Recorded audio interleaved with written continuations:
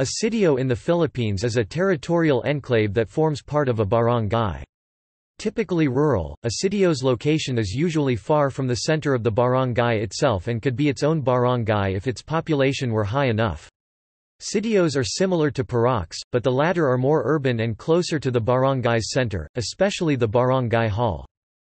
During the Spanish colonial period, the colonial government employed the reducción policy, allowing the remapping of various settlements. Several far-flung hamlets were identified, named, and organized into sitios, so that municipalities and cities could more easily be governed through the barangay system, then known as the barrio system. The sitio does not have an independent administration, it is established purely for organizational purposes.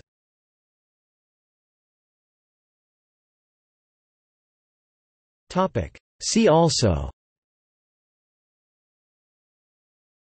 Purok Poblacion Barangay Local Government Code